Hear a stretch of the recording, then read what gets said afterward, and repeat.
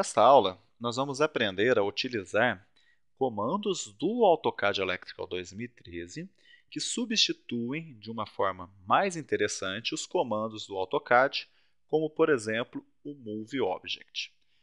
Os comandos que nós vamos aprender no final da aula serão Scoop, Move Component e também o Align, e vocês vão ver que o resultado é bastante interessante.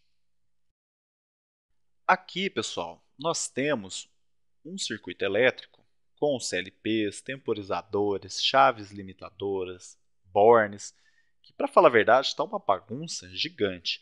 Imagine você sendo contratado para fazer um circuito e você entregando uma bagunça dessa aqui. Não vai pegar bem, você concorda? Então, o que, que você tem que fazer? Você tem que utilizar comandos do AutoCAD Electrical que vão facilitar na hora de editar o posicionamento desses componentes que estão mostrados aqui.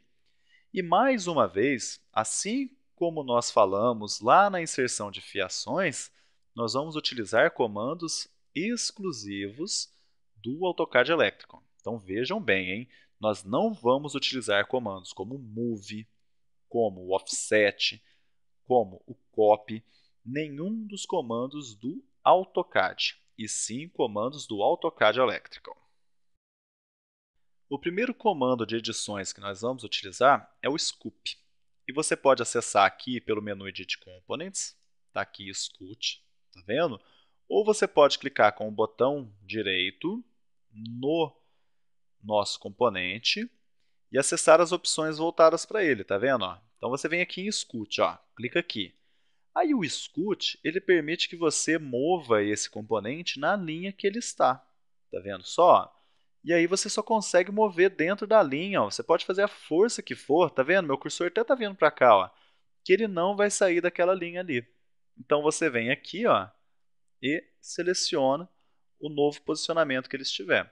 Você pode fazer isso para qualquer componente. Ó. É só clicar e arrastar ele. Tá vendo?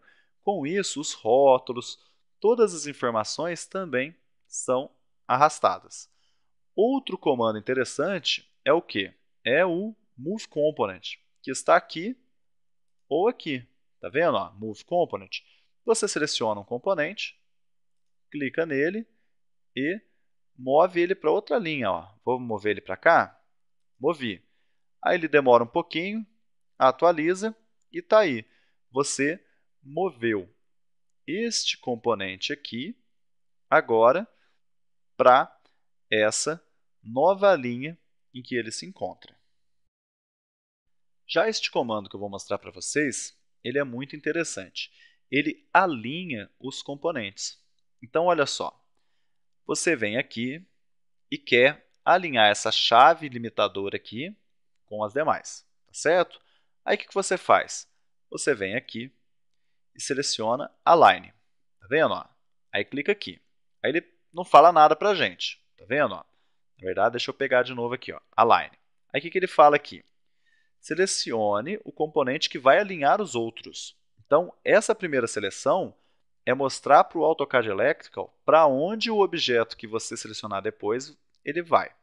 Então, eu quero alinhar este objeto com estes aqui, não é? Então, eu clico nestes. Estes aqui vão ser os que vão alinhar este objeto. Aí agora ele fala o seguinte, selecione o objeto que você quer que venha para essa linha.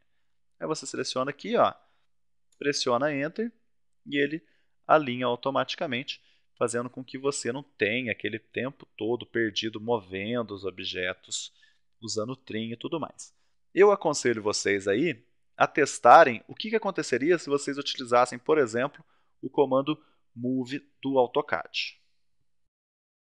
Nesta aula, nós aprendemos a utilizar alguns comandos de edição do AutoCAD Electrical 2013 que nos permitem fazer algumas alterações no posicionamento dos componentes no circuito.